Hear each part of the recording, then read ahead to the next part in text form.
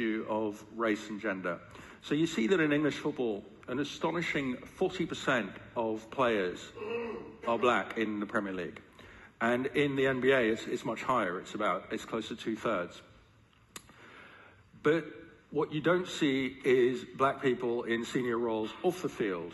They're massively up. What, the rule, of course, the shibboleth of football is you have to play to be a manager. It's ridiculous, but that's the way clubs recruit.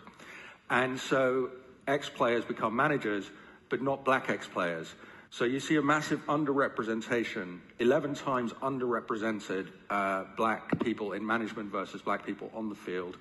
And in the NBA, st they're still underrepresented, but they're far more black managers and general managers.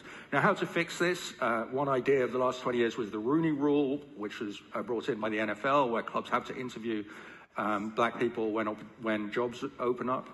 Now, it hasn't really worked in the NFL, which is two thirds black players, and only two out of 32 head coaches are black. So I was talking to the Black Footballers Partnership. They say it's time for compulsory quotas, much like the mandatory percentage of women on corporate boards, which has been uh, made law in multiple European countries. That the Black Footballers Partnership say, and I agree, is I think the only way to break through this shocking discrimination that we're seeing.